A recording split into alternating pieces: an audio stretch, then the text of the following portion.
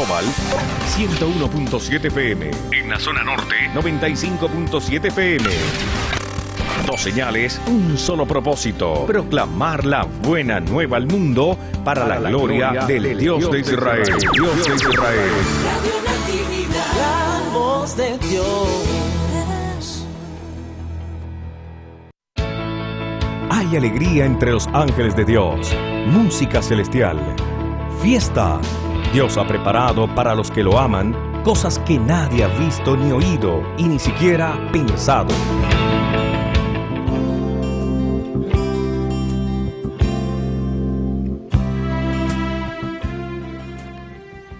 Te doy gracias, Señor del cielo y de la tierra, porque has revelado los misterios del reino a la gente sencilla. A la gente sencilla. ¿De quién podemos nosotros aprender? De la Virgen María. ¿Por qué? Porque es sencilla, porque mm, es, mm, ¿cómo se dice? La, la, la Humildad. la ella. humildad característica. Bueno, es que el Magnífico lo dice porque el Señor ha visto la Ajá. humildad de su esclava. O sea, Dios ve el corazón, Dios ve la humildad. Entonces, fíjese, eh, San Pablo descubre esto y escribe en la carta a los Efesios, al capítulo 4, del 1 al 6, yo, Pablo, prisionero por la causa del Señor, tiene un credencial. ¿Cuál? Que está sufriendo en la cárcel, que tiene problemas, que tiene, perdió la libertad, que, bueno, todo lo que pueda decir. Y entonces, ¿qué? ¿Qué hace? Yo, Pablo, prisionero por la causa del Señor, los exhorto a que lleven una vida digna. ¿Una vida cómo? Digna del llamamiento que han recibido. ¿Del qué? Del llamamiento. yo Ese catequista, ese laico, esa, esa mamá que, que- que tiene ese llamado de ser madre, esa mamá que puede sacar a ese hijo y hacer de ese hijo un gran hombre, una gran mujer que puede contagiar a ese niño para que desde ya, desde su hogar, pueda sentir la, la ternura, la- el dominio de sí misma. Atención, mamá que está escuchando. ah, el dominio de sí misma. Atención, papá que está escuchando. El dominio de sí mismo para llevar una vida digna. Sean siempre humildes. ¿Cómo? Sean siempre humildes. y amables. Ah, una, una característica muy interesante. Humildes y amables. La persona que es capaz de dar una respuesta a una pregunta indiscreta. ¿Y cuándo son los bautizos aquí? Y la persona sale de, de ahí de la misma iglesia y dice, pues, ¿y no me lo hizo? Dios mío, Señor, sean siempre humildes y amables, sean comprensivos y soportense mutuamente, soportense. Si tenemos el rosario, nosotros vamos a tener una característica de la Virgen María, nos vamos a contagiar de ser humildes. Sean humildes, amables, sean comprensivos, soportense mutuamente con amor. Esfuércense, esfuércense por mantenerse unidos en el espíritu con el vínculo de la paz, porque no hay más que un solo cuerpo y un solo espíritu. ¿Ah? Procuren mantenerse en la unidad que proviene del Espíritu Santo. Dice esta, Dios habla hoy. Procuren mantener la unidad que proviene del Espíritu Santo. Por eso el Espíritu Santo es quien da cohesión al cuerpo, o sea, nos une. Eh, tenemos que tener justamente, o sea, presente siempre eh, y creer en esa presencia que está dentro de cada uno de nosotros, que es la presencia del Espíritu de Dios para hacer, dejarlo nos- cada uno de nosotros actuar en cada una de nuestras vidas.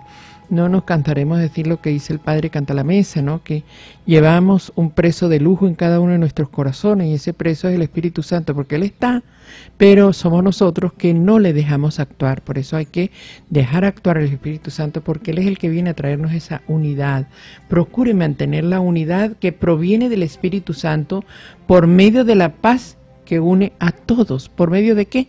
De la, la paz paz. Que une a todos, porque la paz es fruto del Espíritu y la paz es quien viene a unirnos. Hay un solo cuerpo y un solo espíritu, así como Dios los ha llamado a una sola esperanza, así como Dios los ha llamado a una sola esperanza. ¿A una sola qué? Esperanza. Hay un solo Señor, una sola fe, un solo bautismo, hay un solo Dios y Padre de todos que está sobre todos y actúa por medio de todos y está en todos. Él está en cada uno de nosotros, el Dios que se esconde. Hoy, por cierto, el Salmo en la liturgia de las horas nos habla dice el Dios que se esconde. Dios es el Dios que se esconde en el corazón de cada uno de nosotros. Qué misterio de Dios. Yo lo creo porque el Señor nos lo dice a través de su palabra. Dice, Él nos dice, ese día comprenderán que yo estoy en el Padre, el Padre está en mí y yo en vosotros. Entonces quiere decir, eso no lo está diciendo el Señor, no es invento de nadie, es el Señor en su palabra, diciéndonos que Él está en cada uno de nosotros. Ese día comprenderán que yo estoy en el Padre, el Padre está en mí y yo en vosotros. Entonces Dios está en cada uno de nosotros. Por eso cuando nosotros mm, maltratamos o le hacemos algo a, un hermano, eh, ¿a quién estamos haciéndoselo? Al Señor, porque Él está dentro de cada uno de nosotros. Por eso poder contemplar esa presencia del Señor en cada una de nuestras vidas. Tenemos una, una, importancia, una manera, oiga, de tener, eh, tú decías, la unidad en el cuerpo.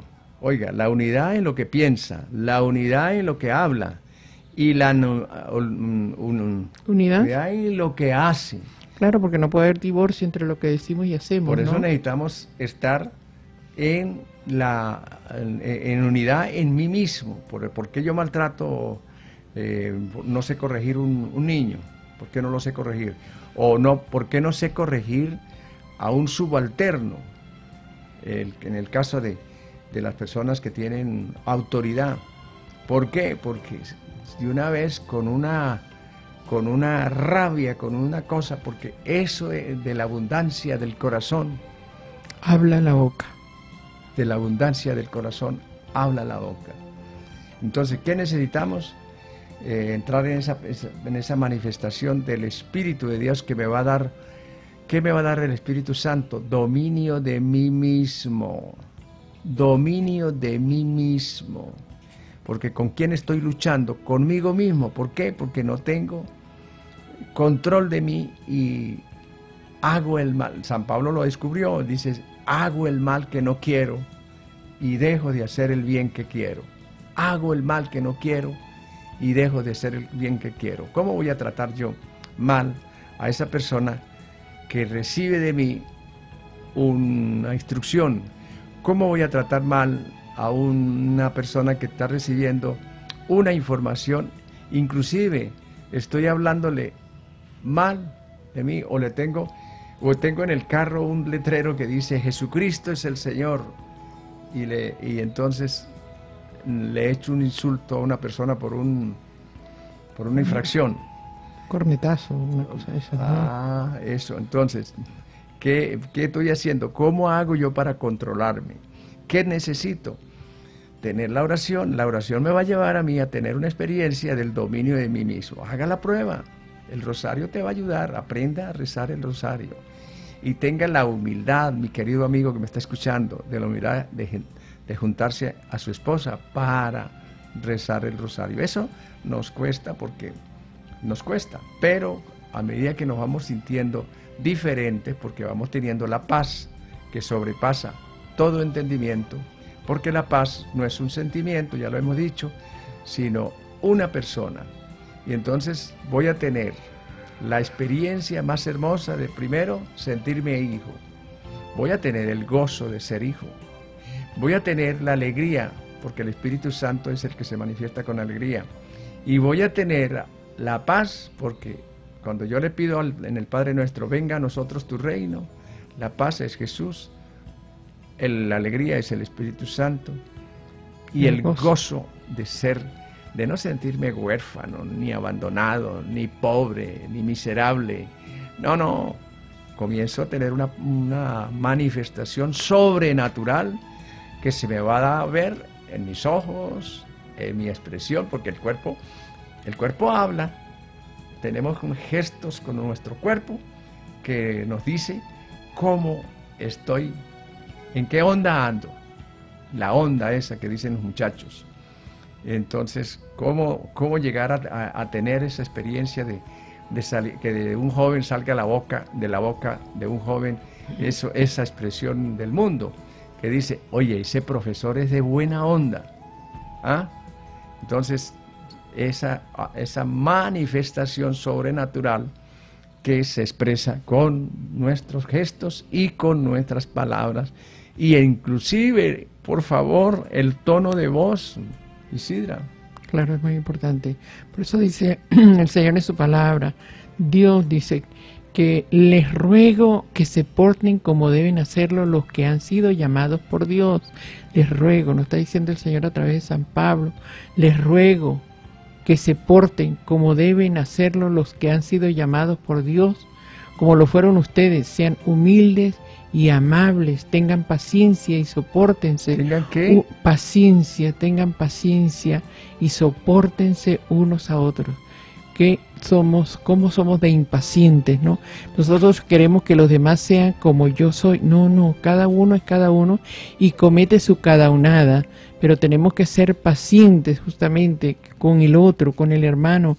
Ese, yo recuerdo siempre, había la mamá de un sacerdote de padre Diego Jaramillo, que cuando alguien quería era impaciente o venía a hablar mal del otro hermano, y eso, déjenla, tranquilo, tranquilo, ese a lo mejor estará loquito. Será por eso. Entonces eso, o sea, con esa amabilidad entender que el otro, pues si en un momento dado tiene un comportamiento, algo le está pasando, algo le está sucediendo, o sea, no seamos tan exigentes y que exigen a lo demás, lo que muchas veces nosotros mismos no, no damos. Entonces les ruego que se porten como deben hacerlo los que han sido llamados por Dios. Como lo fueron ustedes, sean humildes, amables y tengan paciencia y soportense unos a otros con amor. Procuren mantener la unidad que proviene del Espíritu Santo por medio de la paz que los une a ustedes. Procuren mantener la unidad que proviene del Espíritu Santo por medio de la paz que une, los une a ustedes, a todos ustedes. La paz es signo esa y es la realidad, presencia del Señor en cada una de nuestras vidas. Mira lo, que dice aquí en Eclesiástico 26. Dichoso el esposo de una mujer buena, vivirá el doble. Una mujer ejemplar hace prosperar a su marido y le alegra los años de su vida. Necesitamos ser instrumentos de bendición para nuestros seres queridos, las personas que amamos. ¿Por qué nos duele tanto eh, las ofensas? Porque vienen de las personas que uno quiere, las personas que uno ama. Eh, tenemos un tema musical y volvemos nuevamente con ustedes.